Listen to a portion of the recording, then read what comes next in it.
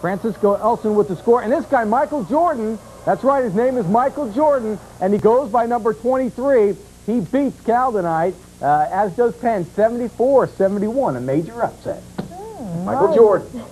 Thank you. Okay, all right. Pam recognized the difference right away.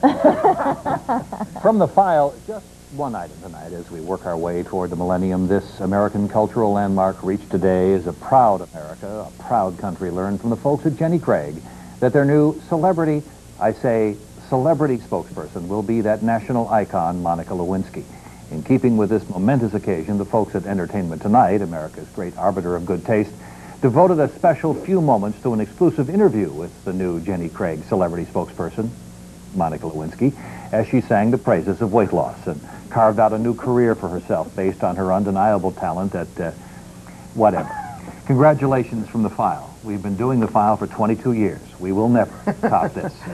That's Night Beat for tonight. And have a good night, everybody. We'll see you tomorrow.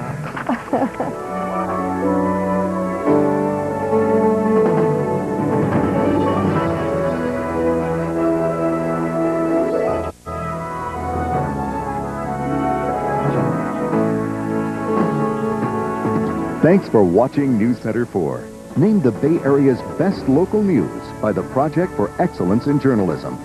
We're proud to be the news and information leader in Northern California.